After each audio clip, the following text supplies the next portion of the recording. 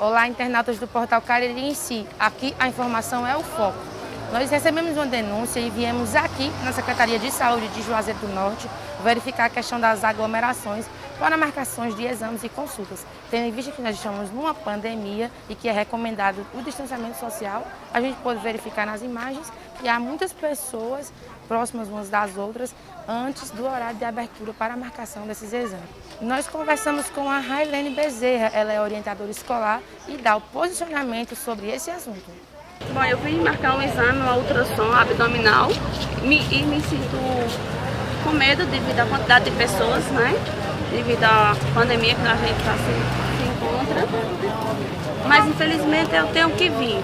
Eu preciso do exame, é, não estou com condição de fazer particular e tenho que me sujeitar a isso, infelizmente. Mas eu acharia que fosse ideal ser marcado nos postos de saúde é, a gente entregar para os agentes de saúde e eles vir marcar como era antes.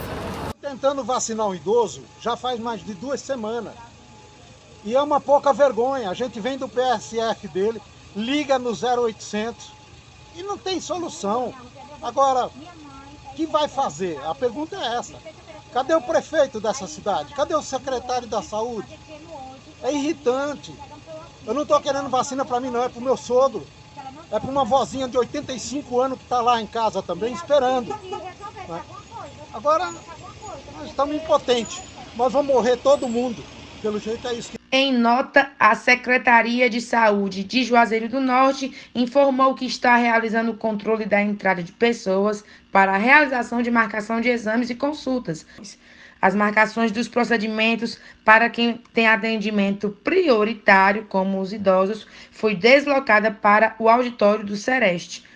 A CESEL ainda informou que está providenciando uma informatização de 15 unidades de saúde básica para que a população possa marcar os procedimentos na própria unidade.